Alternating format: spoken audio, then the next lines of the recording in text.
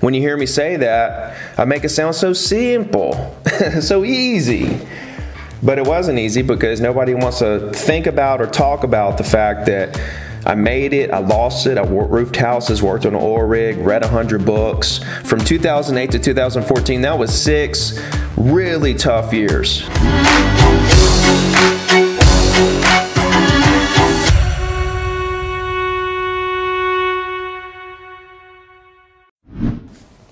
And um, literally at this point, just sharing everything that I've learned over the last 20 years uh, in hopes that I can somehow reduce the failure rate in the real estate industry. Um, you know, 90% of agents fail. So, and what I do is really unique. You know, most coaches and trainers, I'm sure you guys would agree, are just teaching regurgitated strategies and scripts um, from the uh, 1980s, 1990s. You know, and and uh, you know the new the new age of social media you know, I think these old school coaches have tried to figure out a way to use that uh, and really the same philosophies, right? And it turns into this really weird high pressure situation. Anyway, it puts you and your prospects in this really weird, awkward uh, situation. And that's what I'm trying to help you guys avoid, right? And, and let you know that you can actually there we go. You can actually use your specific personality and you can actually be yourself and actually build a much larger business, short and long term, uh, than you can when you go this different route, this mainstream route of. Uh, the traditional way that coaches and trainers teach agents to build their real estate business. You know, which is more in the lines of this you know, hey, Mr. Seller, you don't know me, I don't know you, but will you sell your house so I can make some money? That's what it sounds like, you know. Hey, I'm so and so with whatever real estate. How you doing today? You know, are you interested in selling your house? Kind of thing. Um, you know, and it, it's so focused around what can the client do for the agent, and what I want to do is reverse it and put you guys in a position where we're trying to figure out what we as the agent can do for the prospect just complete 180 in the entire philosophy. We want to figure out what we can do to help. We want to connect with these prospects before we try to convert. Uh, tens of thousands of agents are in my coaching program all around the world. Why do I have over 40,000 agents in my coaching program? Because I'm bringing value first. I'm bringing value first. How do I monetize my coaching program?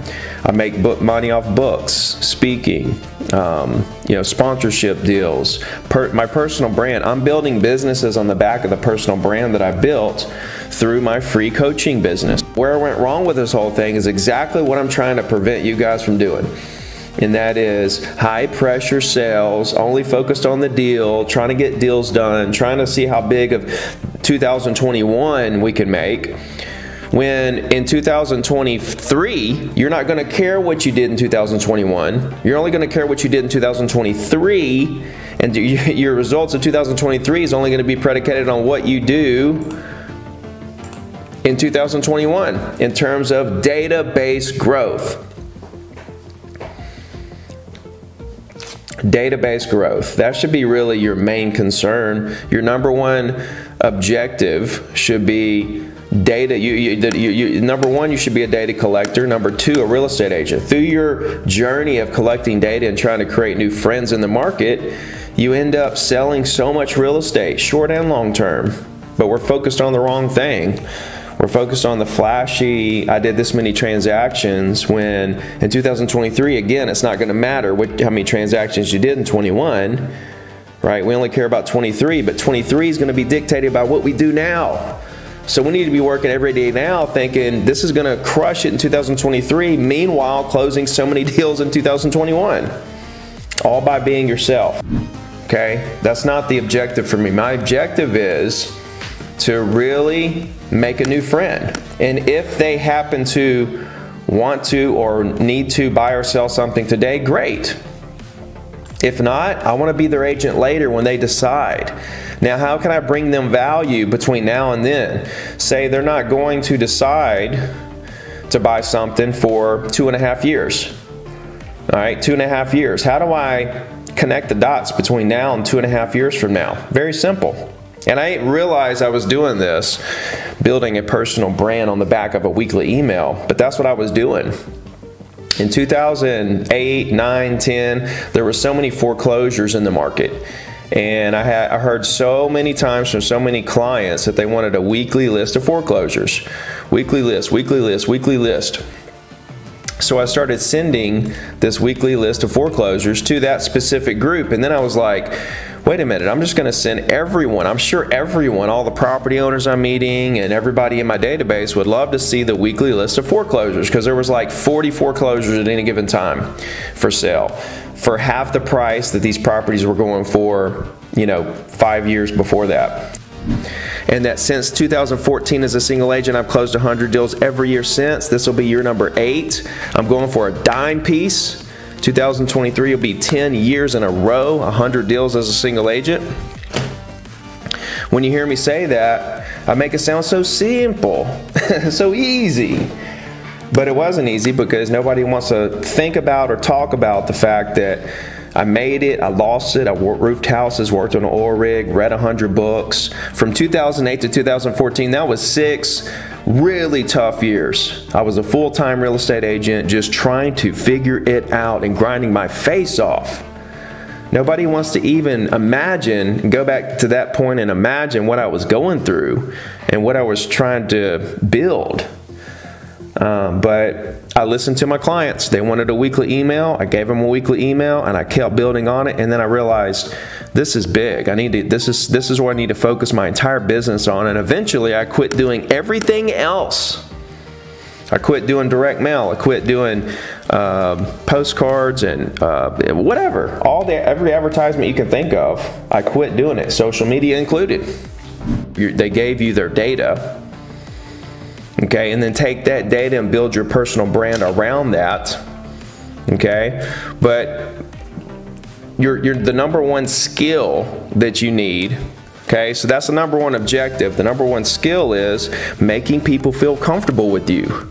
That's people are like getting listings closing the deal uh, you know um, setting appointments, you know, negotiating, all that stuff. But let me tell you something, ladies and gentlemen.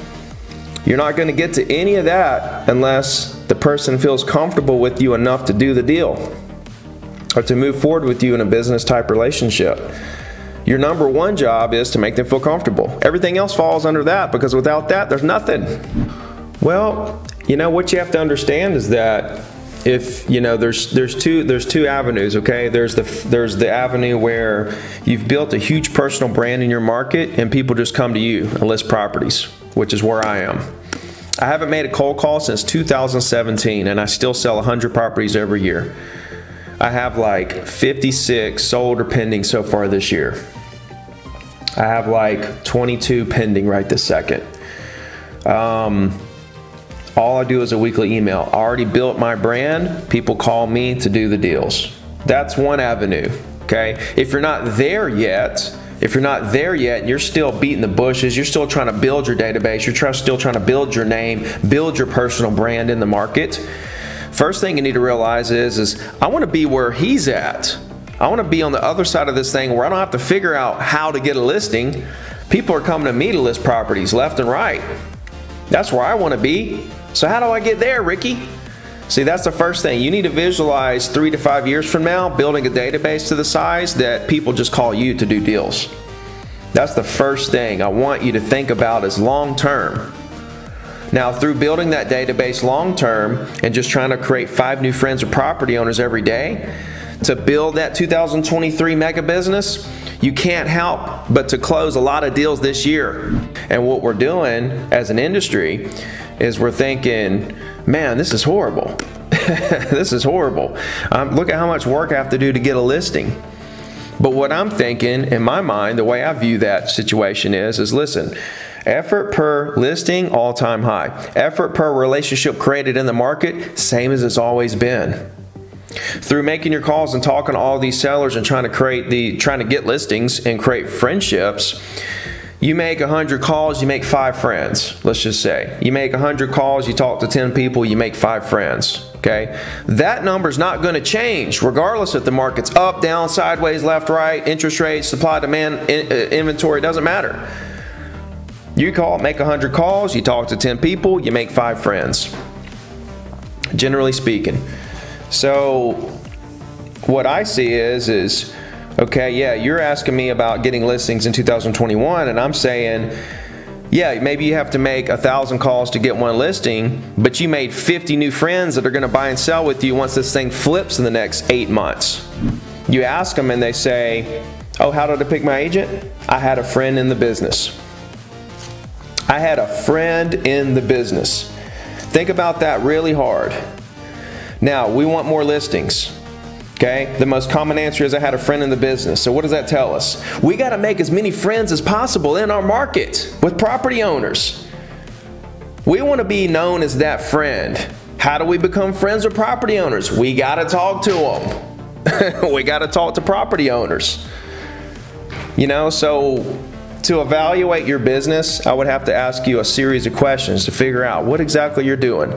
Are you talking to property owners? What is your strategy? What is your script? You know, what is your process? Once you create the, the relationship, are you actually just going after a deal and then saying next if they're not ready and not even collecting data? Or are you trying to salvage that and nurture that relationship for later? Once you do have that relationship, what are we doing to actually stay in touch and build our brand with that person from that day forward? Do we have a systematic way of doing that? The only book I ever read twice was called The Slight Edge. And the slight edge is a lot like the compound effect. The uh, slight edge is by Jeff Olson, and it's a lot like the compound effect by Darren Hardy, but much more graphic, if you know what I mean. Like, like, you know, literally, like, you know, not pictures and stuff, but the way that he writes, you you envision this, and it's literally it, it, it it's a game of compounding. Uh, it's a game of accumulation. Okay if you look at my 20 years, I did nothing special.